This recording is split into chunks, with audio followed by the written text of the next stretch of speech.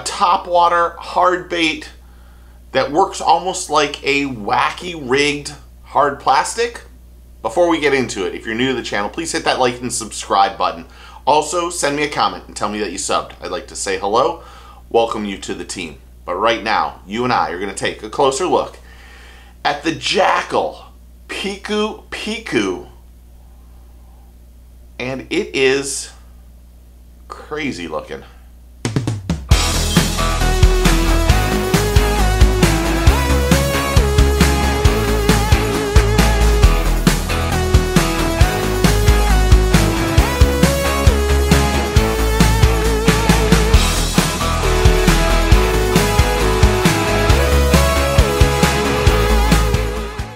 The Jackall Pikupiku is an odd shaped, unique, curved body topwater twitch bait.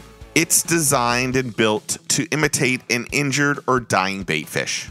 When you fish this bait, it's meant to be tied on and worked like a finesse topwater twitch bait. When you cast this bait, it's designed to float, and when you twitch your rod quickly, almost shaking it, the bait rocks back and side to side. That slow action entices bass to eat. It is equipped with super sticky treble hooks and premium components 3D eyes, gill plates, and scaling.